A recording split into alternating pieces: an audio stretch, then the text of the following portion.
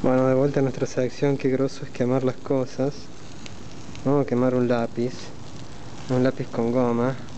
De esos, no sé de qué está hecho, pero no es de madera. Los primeros que, que se vieron acá en Argentina los hacía con té. Eran de un verde muy particular, igual a este. Y después los empezó a vender también Vic. Y supongo que habrá Faber y todo ahora. Es una fibra muy rara y es, es- yo creo que es polímero porque se quema como si fuera plástico. Bueno, mira, ahí está el nudo del fuego y lo... Upa, está calentazo. Ahí está.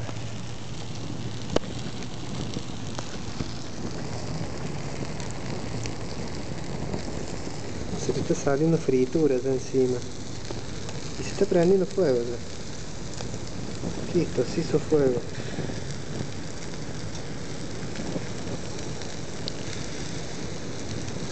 Zarpado. Un humo negro, ¿no? Porque bueno, estoy echándole plástico la misma brasa con la que hacemos el asado. Pero ¿qué quiere que haga brasa aparte para quemar las cosas? El asadazo que nos vamos a comer. Nos vemos.